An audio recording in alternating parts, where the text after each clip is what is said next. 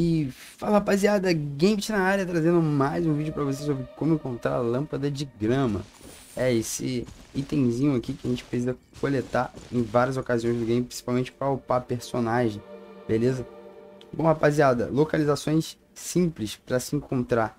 Uma aqui no mapa, beleza? Aqui é onde mais tem, é essa regiãozinha aqui.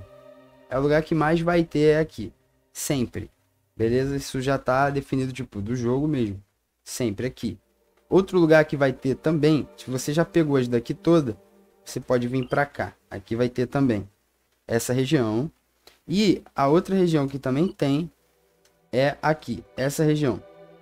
Beleza? Existem outras regiões que tem? Sim, existem. Por exemplo, lá no, no, na toca do Storm Terror. Só que, cara, é muito pouco. Então é bem melhor você vir lutear essas aqui, daqui, lutear as daqui e depois lutear as daqui, beleza? Se você precisar de mais, aí você vai lá na toca do Storm Terra, deve ter algumas lá. Beleza, gente? É isso. Lembrando que, como é um loot, nem sempre vai ter muito, né?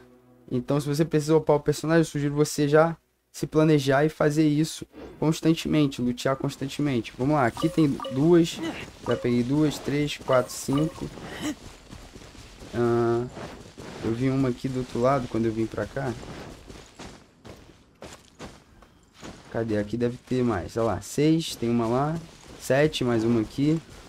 Oito. Ó. Seis. Sete. Oito, nove, ó. Nove aqui. Nessa área. Hum. Vamos ver. Beleza, é isso.